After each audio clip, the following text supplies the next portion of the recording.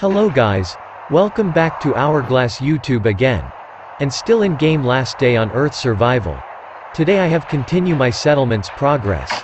I have built a new workbench, it is rolling machine. With rolling machine I can make iron pipe. I need iron pipe for connect water pump to some workbenches in settlement. Let's check it out.